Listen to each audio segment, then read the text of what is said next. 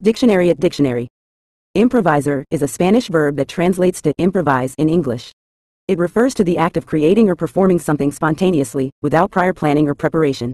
When someone improvises, they adapt to the situation in real time, using available resources and skills to generate a solution or response on the spot.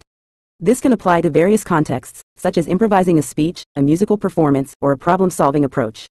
The essence of improvisation lies in its flexibility and ability to respond effectively to immediate circumstances.